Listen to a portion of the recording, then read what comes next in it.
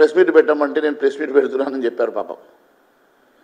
జగ్గారెడ్డి గారికి civil supplies మ్యాటర్లో జరుగుతున్నటువంటి అంశం మీద వారికి ఏం ఉంది? మీరు మంత్రిగా మీరు నేను చేసినటువంటి ఆరోపణలు నేను నేను సంధించినటువంటి ప్రశ్నలకు సమాధానం మీరు చెప్పాలి. నేను ఒక ప్రజాప్రతినిధిగా భారతీయ జనతా పార్టీ శాసనసభ పక్ష నేతగా ఆధారంతో సహా నేను చాలా అంశాలని చాలా ప్రశ్నలని సంధించి దానిలో జరుగుతున్నటువంటి అవకతవకలు వెలికితీస్తే వాటిని సరిచేస్తామనో లేకుంటే వాళ్ళ మీద చర్యలు తీసుకుంటామనో చెప్పాల్సినటువంటి మీరు భుజాలు తడుముకుంటూ మీరే అవినీతి చేసినట్టుగా ముఖం చాటేస్తూ మీరు చేసినటువంటి పోలీస్ కంప్లైంట్ల ద్వారానో లేక అధికారులతో స్టేట్మెంట్ ఇవ్వడం వలన సమస్య పరిష్కారం కాదు అని నేను తెలియజేస్తా ఉన్నాను. మంత్రి గారు మీరు ఏ రోజు వస్తే ఆ రోజు గురించి చర్చకు సిద్ధం. నేను దానికి ముందు ఒక నాలుగైదు అంశాలు నేను మీ దృష్టికి తీసుకొస్తా ఉన్నా. మొన్న మీరు ఇచ్చినటువంటి టెండర్స్ మీరు ఇచ్చినటువంటి టెండర్స్ డేటెడ్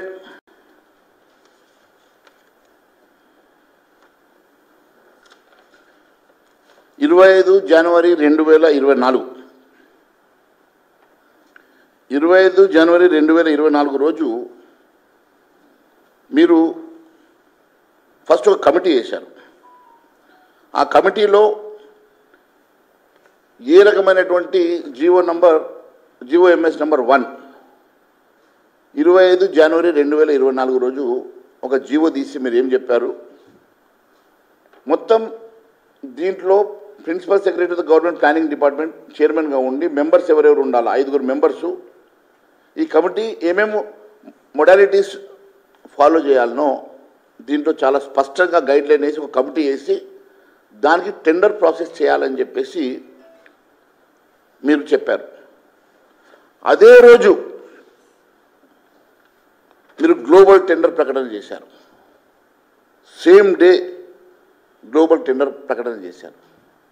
అదే రోజు మీరు కమిటీ ఎగ్జిక్యూటివ్ చేసి మొడాలిటీస్ ఫామ్ చేసి ఐదుగురు మెంబర్స్ వేసి ఈ మెంబర్స్ కూర్చొని దాని మీద గైడ్లైన్స్ ప్రిపేర్ చేసి దానికంటూ సమయం అంటూ ఉంటుంది కదా. అదే రోజు మీరు ఒక గ్లోబల్ టెండర్ ఫ్లోట్ చేశారు. అదే రోజు టెండర్ డాక్యుమెంట్ ఫర్ ఈ ఈ టెండర్ కోసం కావాల్సినటువంటి ప్యాడీ ప్రొక్యూర్మెంట్ కావాల్సిన ఈ టెండర్ని కూడా అదే రోజు ఇంత పెద్ద గైడ్లైన్స్ తయారు చేశారు. ఒకే రోజు ఇన్ని అంశాలు మీరు తీసుకొచ్చినటువంటి మీరు ఏ ఆలోచనతో ఇవన్నీ మీరు చేశారు? ఒకే రోజులో ఇన్ని ఆలోచనలు మరి రాత్రి పగ పనిచేశారా? దినంలో పనిచేశారా? ఎక్కడ పనిచేశారో చెప్పాల్సిన బాధ్యత గౌరవ మంత్రి గారి మీద ఉన్నది. దీన్ని పక్కన పెడితే మళ్ళీ మీరు దీంట్లో చాలా సమయాన్ని కూడా మీరు స్పష్టంగా టెండర్స్ని ఏ రకంగా టెండర్స్ ఉండాలో ఇది గ్లోబల్ టెండర్స్ అని చెప్పిన తర్వాత ఈ గ్లోబల్ టెండర్స్ కోసం పార్టిసిపేట్ చేయడానికి పంజాబ్ నుంచి హర్యానా నుంచి కూడా కొంతమంది కంపెనీస్ వాళ్ళు వస్తే ఆ రోజు జల సౌదాలో ఏప్రిల్ పద్దెనిమిదో తారీఖు రోజు కొంతమంది రైస్ మిల్లర్లను మీరు పిలిచి ఆ రోజు నెగోషియేట్ చేసిన అంశాలను బయటపెట్టమంటారా? ఆ రికార్డును బయటపెట్టమంటారా? ఏ రకమైనటువంటి డాక్యుమెంటేషన్స్ వాళ్ళకు అష్యూరెన్సెస్ ఇచ్చారో అంశాలను బయటపెట్టమంటారా? మీరే చెప్పాలా? నేను ఇంకా గౌరవం కొద్దీ ఇవేమి కాకుండా నేను చాలా గౌరవంగా మాట్లాడుతూ రెక్టిఫై చేయాల్సిందిగా మిమ్మల్ని రిక్వెస్ట్ చేసిన తప్ప నేను ఏ రోజు కూడా తప్పుపట్టాలనో లేకుంటే మిమ్మల్ని కార్నర్ చేయాలన్న ఉద్దేశం నాకు లేదు. నేను చాలా స్పష్టంగా ఇవన్నీ కూడా జరుగుతున్నటువంటి అవకతవకలు అరాచకాలని మీ దృష్టికి తెచ్చి కొంతవరకన్నా కరెక్షన్ చేసుకోవాల్సిందిగా నేను కోరాను. ఆ రోజు మీరు గ్లోబల్ టెండర్స్ అని చెప్పి మళ్ళీ దాంట్లో ఒక కండిషన్ పెట్టి లోకల్ రిజిస్ట్రేషన్ జిఎస్టీ ఆఫీస్ హైదరాబాద్లో ఉండాలని చెప్పి మళ్ళీ కండిషన్ పెట్టారు. సో దట్ మీరు అనుకున్న వాళ్ళకు మాత్రమే ఈ టెండర్లు ఇవ్వాలని. జలసోదలో జరిగినప్పుడు అక్కడికి వచ్చినటువంటి బగాడియా రైస్ ఎక్స్పోర్టర్స్ కానీ Gurunanak rice and general mills కానీ నోకా అగ్రో లాంటి కంపెనీస్ మిమ్మల్ని రిక్వెస్ట్ చేసి మేము కూడా టెండర్లో పార్టిసిపేట్ చేస్తామని వాళ్ళు అడిగితే మై కమిషనర్ సమజ్ రే మై డైరెక్టర్ జనరల్ అని ఒక అధికారి వాళ్ళని భయపెట్టించాడు. భయపెట్టిస్తే వాళ్ళు మా దగ్గరకు వచ్చారు. అయినా నేను దాంట్లో లోతులకు పోదలుచుకోలేదు. మరి ఇవన్నీ కూడా చేసిన తర్వాత వారిని తప్పించి మీరు అనుకున్నటువంటి వాళ్ళకు టెండర్లు మీరు ఫ్లోట్ చేశారు. ఆ రోజు మరి రేటు డిసైడ్ అయింది కదా రెండు వేల ఏడు రూపాయలు. మరి రెండు వేల ఏడు రూపాయల మీద యూ ట్యాక్స్ నువ్వు క్వింటాల్కి రెండు వేల ఏడు రూపాయలు టెండర్లో పార్టిసిపేట్ చేస్తే మీరు దాని మీద రెండు వేల రెండు వందల ఇరవై మూడు కాడికి అంటే దాదాపు రెండు వందల పద్ పదహారు రూపాయలు. ఎక్స్ట్రాగా. నూట పదహారు కాదు రెండు వందల పదహారు రూపాయలు ఎక్స్ట్రాగా ప్రతి క్వింటాల్కి రైస్ మిల్లర్లను ఇవ్వాలని చెప్పేసి మీరు డిమాండ్ చేసిన మాట వాస్తవం కాదా? మరి అన్ని వసూలు చేయడానికి పెద్ద మనుషుల్ని వాళ్ళ పేరు చెప్పమంటే కూడా చెప్తాం. రైస్ మిల్ అసోసియేషన్ ప్రెసిడెంట్లు సెక్రటరీలు పాపం భయపడో మీకు ఆడ కూర్చుంటారు బికాజ్ వాళ్ళు కూడా స్టాకులు పెట్టుకొని అమ్ముకొని ఉంటారు. కాబట్టి వాళ్ళు మీకు భయపడతారు కమిషనర్కి భయపడతారు. స్టాకులు కొన్ని వందల కోట్ల రూపాయల స్టాకులు వాళ్ళ దగ్గర ఉన్నాయి. ఎట్లొచ్చినాయి? వాళ్ళ మిల్లింగ్ కెపాసిటీ ఎంత? మిల్లింగ్ కెపాసిటీ మించినటువంటి స్టాకును వాళ్ళ దగ్గర పెడితే రైస్ మిల్లర్ ఎట్లా భరిస్తారు? వాళ్ళకి స్టాక్ యార్డ్స్ ఎక్కడుంటాయి? మురిగిపోతే ఎవరు బాధ్యులు? థెఫ్ట్ అయితే ఎవరు బాధ్యులు? మరి వాళ్ళు ఏం చేయమంటారు వాళ్ళని? వాళ్ళందరినీ కూడా మీరు రైస్ మిల్లర్ని మీ దగ్గర గూడెం లేకనో లేకుంటే ఇమీడియట్గా దాన్ని మీరు అమ్ముకోలేకనో వాళ్ళ మీద పెట్టి ఈరోజు వాళ్ళ దగ్గర నుంచి మళ్ళీ మాకు బియ్యం అవసరం లేదు డబ్బులు కావాలా? మరి రైస్ మిల్లర్లు కూడా మేము పార్టిసిపేట్ చేస్తామంటే రైస్ మిల్లర్లు పార్టిసిపేట్ చేసే అవకాశం లేకుండా మీరు టెండర్లలో రకరకాల కండిషన్లు పెట్టి వాళ్ళని పార్టిసిపేట్ చేయకుండా చేసిండు బియ్యం ఇస్తామంటే బియ్యం వద్దంటాం. బియ్యం వద్దని చెప్పి బియ్యం బదులు మాకు డబ్బులు కావాలంటారు. డబ్బులు మళ్ళీ మీరే రెండు వేల ఏడు రూపాయలు డిసైడ్ చేస్తారు మళ్ళీ వాటిని మీరే రెండు వేల రెండు వందల ఇరవై మూడు రూపాయలు మీరే డిసైడ్ చేస్తారు. ఈ రకంగా వారిని ఇబ్బంది పెట్టి భయపెట్టి మీరు జల సౌదాలో చేసినటువంటి వాళ్ళకు మీకు ఆరు నెలల అవకాశం ఇస్తాం. కావాలంటే బాండ్లు రాసిస్తాం. స్టాంప్ పేపర్ల మీద రాసిస్తాం. లేకుంటే కేసులు పెడతాం. మీరు చేసినటువంటి వసూళ్ళు అరాచకం. బయట పెట్టమంటారా?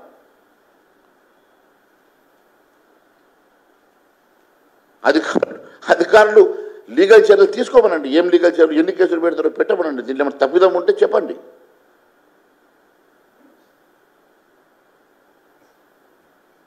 Bureaucrat turn politician.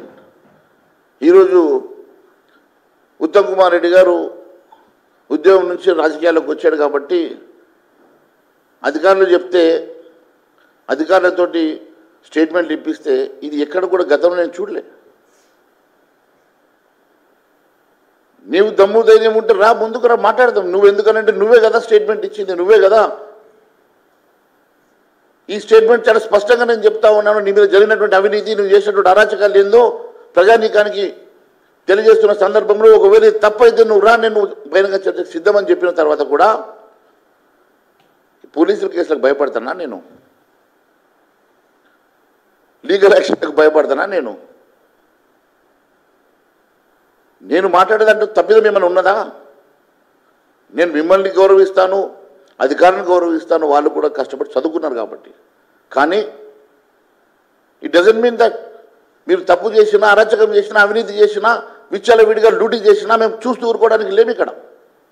Bharatiya Janata పార్టీలో ప్రజా గొంతుకై ఒక అపోజిషన్ నాయకుడిగా నా కర్తవ్యాన్ని నేను నిర్వర్తిస్తున్నా. నా కర్తవ్యాన్ని నేను నిర్వర్తిస్తున్న సమయంలో ఇలాంటి అవ- ఎన్నో అవాంతరాలు వచ్చినా దేనికి భయపడే మనస్తత్వం నాది కాదు.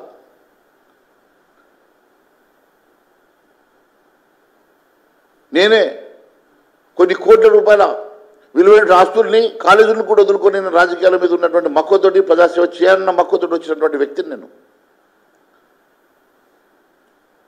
ఈరోజు ఇంత ఓపెన్గా ఇంత డాక్యుమెంటేషన్తో నేను ముందుకు వచ్చి చెప్తా ఉంటే మీరు చేసినటువంటి అరాచకాలు అవినీతి చెప్తా ఉంటే మీరు నన్ను సమాధానం చెప్పాల్సింది పోయిన నువ్వు. ఈ రకంగా కేసులు పెట్టడం ఇది దారుణం ఇది ఇది నీచం అని చెప్పి నేను తెలియజేస్తా ఉన్నాను. ఇంకా చాలా అంశాలు. ఒకటొకటిగా చెప్తా. బికాజ్ ఇప్పుడు తెరదీసినావు నువ్వు. ఇప్పుడే నువ్వు ఛాలెంజ్కి నువ్వే తెరదీసినావు కాబట్టి నేను ఇంకా చెప్తాను. మరి ఇంకా దీంట్లో కూడా చాలా అంశాలు ఉన్నాయి కానీ మంత్రి గారు ఎందుకు మాట్లాడతలేరు? అవగాహన లేక మాట్లాడతలేరా? లేకుంటే అవినీతికి భయపడి మాట్లాడతలేరా? ఇవన్నీ కూడా వారు మాట్లాడిన రోజు చాలా అంశాలు ఇంకా చాలా చాలా పేపర్స్ ఉన్నాయి. ఇవన్నీ చెప్తాను. దాని తర్వాత దీనిలో గమ్మత్ ఏమంటే ఇంకోటి చెప్తాను. టెండర్స్ ఫ్లోట్ చేసేటువంటి వ్యక్తి దీంట్లో స్పష్టంగా ఎన్ని ఏ రోజు లోపల దీన్ని లిఫ్ట్ చేయాలనో దానికి డేట్ ఇచ్చారు. ఆ డేటు ఈరోజు ఇరవై మూడు మే లోపల వాళ్ళు టెండర్ చేసినటువంటి కంప్లీట్ మెటీరియల్ని లిఫ్ట్ చేయాలని చెప్పేసి మరి ఈ టెండర్లో చెప్పారు. ఈ టెండర్లో చెప్పిన తర్వాత నేను ఒకటి అడుగుతా ఉన్నాను గౌరవ మంత్రి గారిని.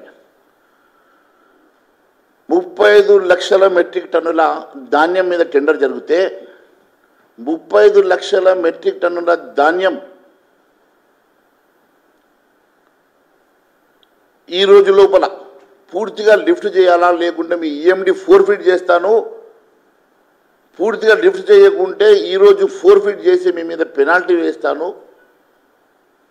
మిమ్మల్ని బ్లాక్లిస్ట్ చేస్తానని చెప్పి మళ్ళీ అంటే ముప్పై ఐదు లక్షల మూడు ముప్పై ఐదు లక్షల మెట్రిక్ టన్ అంటే మూడు కోట్ల యాభై లక్షల కుంటాలు మూడు కోట్ల యాభై లక్షల కుంటాలకి రెండు వందల పదహారు రూపాయలు ఎక్సెస్గా వసూలు చేసేటువంటి డబ్బు విలువ ఎనిమిది వందల పైచిలుకు ఎనిమిది వందల కోట్ల పైచిలుకు.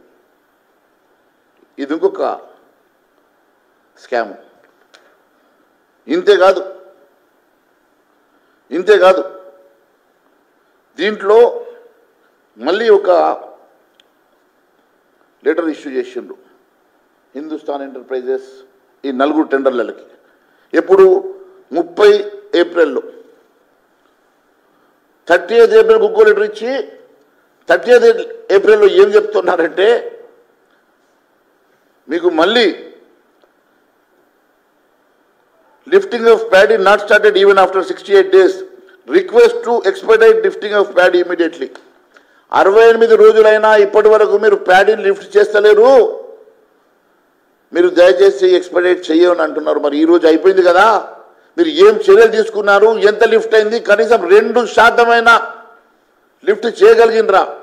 రెండు శాతం కూడా లిఫ్ట్ చేయకుంటే ఈ టెండర్ తీసుకునేటువంటి వాళ్ళు చేస్తున్న పని ఏంది కేవలం మీ డబ్బులు వసూలు చేసి ఇవ్వడమే వాళ్ళ పనా?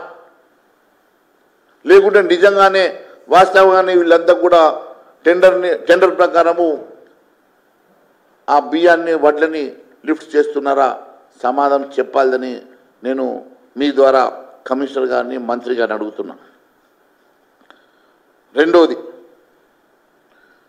వీళ్ళెవరికి కూడా వీళ్ళందరికీ కూడా మళ్ళీ ఇంకా సమయం ఇస్తాం ఎక్స్టెన్షన్ ఇస్తారంట. అరవై ఎనిమిది రోజులు లిఫ్టే మొదలు కానటువంటి కంపెనీలకు ఏమని చెప్పేసి మీరు ఎక్స్టెన్షన్ ఇస్తారో దీనికి సమాధానం చెప్పాలని చెప్పి నేను కోరుతా ఉన్నాను. ఇదే మాదిరి సన్నబడ్ల విషయం కూడా ఒక మాట చెప్పి నేను ముగిస్తా. ఇంకా చాలా ఉంది. చాలా డాటా ఉంది నా దగ్గర. ఆ డాటా అంతా నేను ఇప్పుడు చేయాలనంటే నేను ఇది ముఖ్యమంత్రి గారికి తీసుకెళ్ళి దీని మీద మరి కమిటీ చేస్తారా లేకుంటే అసెంబ్లీలో దీని సంగతి నేను మాట్లాడేది మరి దీని మీద ఏం చర్యలు తీసుకుంటారో ప్రశ్నిస్తా. కానీ ఈరోజు ఇంకోటి సన్న బియ్యం మీద కూడా ఒక ఒక మాట చెప్పి నేను ముగి ముగించదలుచుకున్నా. అయ్యా సన్న బియ్యము రెండు వేల ఇరవై రెండు ఇరవై మూడు స్టాక్. మొన్న ఈ ప్రభుత్వము రెండు వేల రెండు వందల యాభై తొమ్మిది రూపాయల కాడికి ఒక్క లక్ష యాభై తొమ్మిది వేల మెట్రిక్ టన్నుల సన్న బియ్యాన్ని అమ్మేసారు రెండు వేల రెండు వందల యాభై తొమ్మిది రూపాయల కాడికి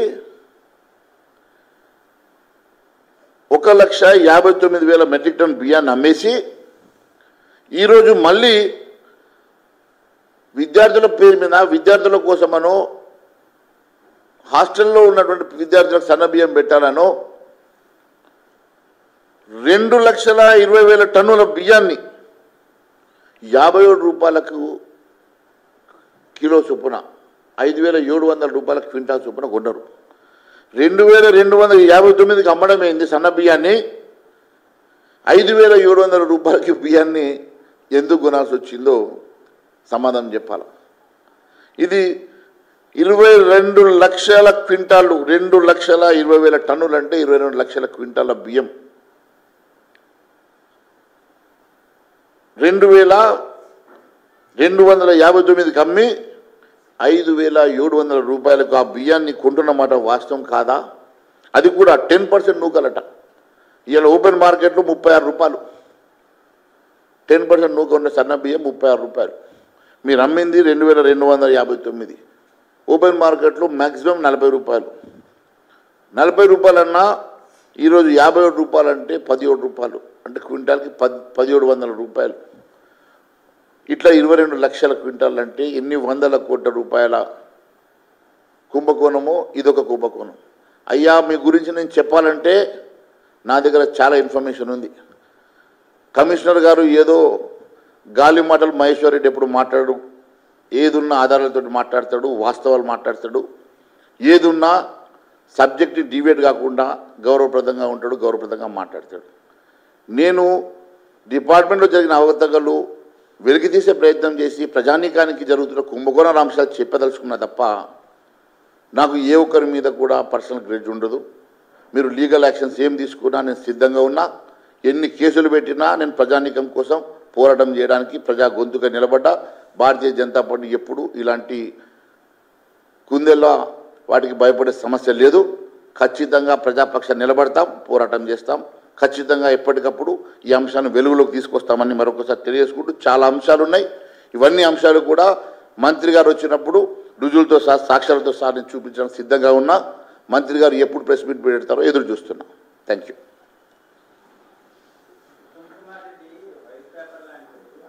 ఇదే వైట్ పేపరే కదా నేను చెప్పింది ఇప్పటిదాకా వైట్ పేపర్ గురించి చెప్పిన.